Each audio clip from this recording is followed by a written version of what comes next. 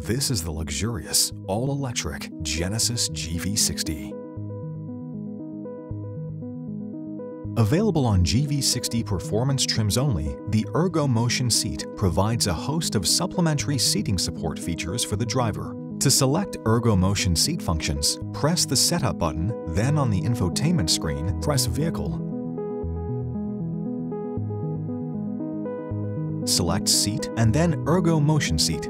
From here, you can turn on or off Smart Posture Assist or Smart Support by pressing the check boxes. After driving for one hour, Smart Posture Assist automatically adjusts the pelvic and back portion of the driver's seat to assist with posture.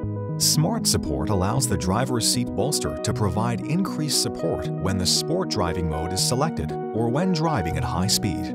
The intensity and duration of comfortable stretch can also be adjusted from the infotainment's settings menu. Comfortable Stretch is an on-demand feature for the driver that is selected by a button on the driver's seat.